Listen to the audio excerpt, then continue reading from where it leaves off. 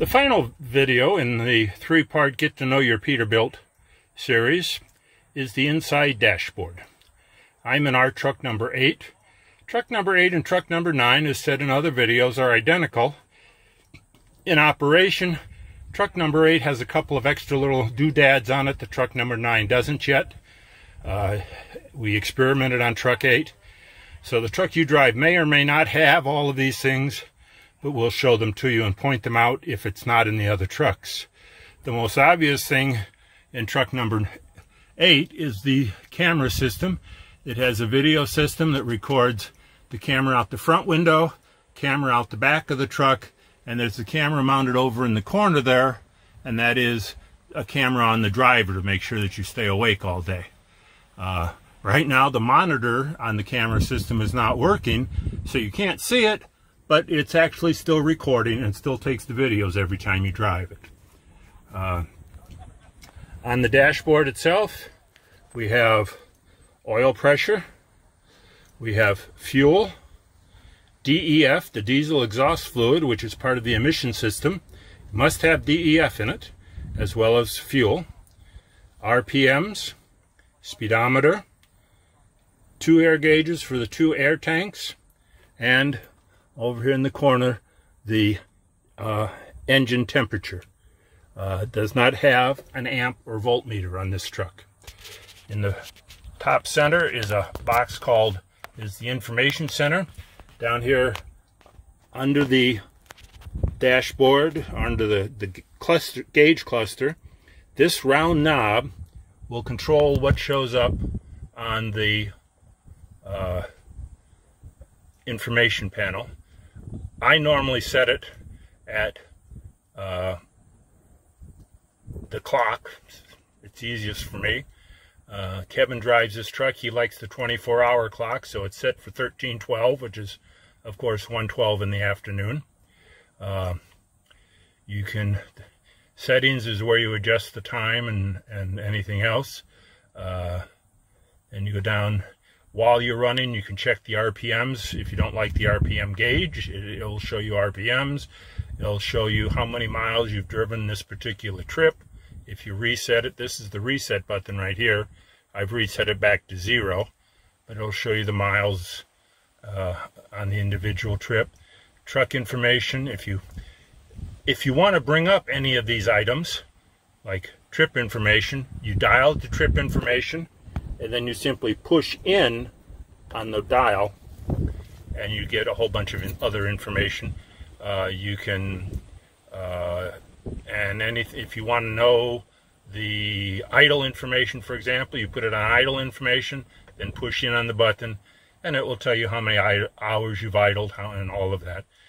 Nothing that you really need to know unless some emergency happens, but it's it's interesting stuff and then you hit, you want go back up to exit push in and you're out of that section. Uh, it'll also do truck information. It'll show you uh, this uh, you know will give you what the chassis number is serial numbers and stuff like that. Again nothing you need to know on a, on a regular basis but just kind of interesting that it's all there. Uh, diagnostics this is one thing you might find if you get a idiot light that comes on in the dashboard and you can, you know, this will tell you when you start it up, it does a self-diagnostic, and this will tell you if it's found anything. Hope, and if you, uh, if something does show up here, you need to let the courier manager know, or the operations manager know, so that we can get the truck in for repair. Uh, you would also get warnings uh, if it's something serious would show up on this panel or the time. And as I said, I generally just leave it on time so that I have a clock while I'm driving. To the left of the steering wheel are six buttons. The first, the middle one here turns your running lights on and off. The button to the left turns your headlights on and off. And you can hear the warning because I don't have the truck running. This is the adjuster for how bright the dashboard is. Underneath it, this is your four-way flasher button. And on this truck, These two buttons actually work. One are we have a set of white floodlights on the back of the truck to help you see while you're working in the at night, and the other is a set of yellow flashy lights, uh, warning lights on front and back. If you're working, uh, this truck was specifically for downtown Cincinnati. We pick up a lot of curbside stuff in Cincinnati, and we just thought we needed more warning lights while the driver is out uh, on the streets of Cincinnati. So this is this is uh, yellow flashy lights. This is the floodlights. On the right side uh, of the steering wheel, again, this is the knob that adjusts all those things on the on the screen on the dashboard. Key and ignition. This is the fan button. Uh, always leave it in automatic. If for some reason the truck seems to be overheating and the fan isn't running, or if you're sitting for a really long time, uh, you can turn the fan on, the engine fan on manually, but 99% of the time leave it on auto. It will turn itself on when it needs to. These are the two cruise control buttons. You turn the cruise control on and off with this button. This is on. And then you set it by pushing here, or you resume it by pushing here. So you do have cruise control. The trucks are now set at 75 miles an hour maximum speed. Uh, they used to be set at 65. We've upped that to 75 so that you can keep keep up with traffic. Moving across the dashboard is the radio. I've never used the radio in the years I've worked for this company. Uh, you can plug your phone into the radio right here. If you have music on your phone or you have iTunes or whatever, you can play that music through the radio. But I have no idea how you do that. Ask Kevin. He knows all those things. Uh, little storage pocket, air conditioning controls. The key thing about the air conditioning controls is this button. This actually turns the air conditioning on and off. You set you set this where you want the air to flow. If you want the air to flow out of the dashboard, that's that setting. And then you turn the fan on. But you're not going to have any air conditioning unless you push this button in. Okay that's the air conditioning button. If you don't turn push that button in you don't have air conditioning. The air does work sometimes. Moving across the dashboard this is the parking brake switch. Uh, you can you know set and release the parking brake this is the transmission there's no shift on the on the column. There's no shift in between. The shift down thing down here is the PTO setting. That's not the transmission.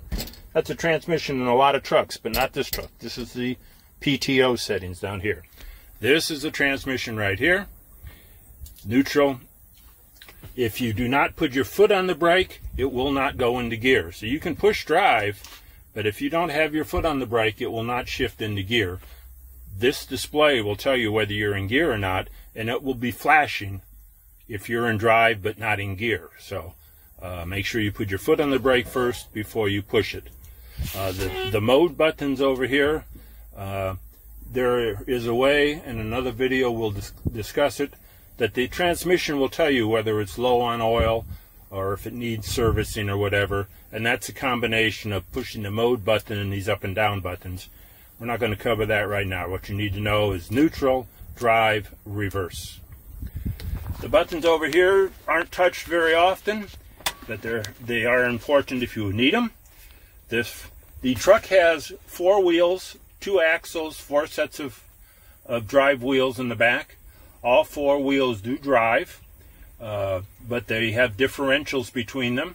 So if you get in a slippery situation, uh, you may have had a car at one time or another in your life where one wheel is on the ground, the other wheel is up in the air, and if you press on the gas, the only thing that happens is the wheel that's up in the air spins. It doesn't give power to the wheel on the ground. That's part of the differential.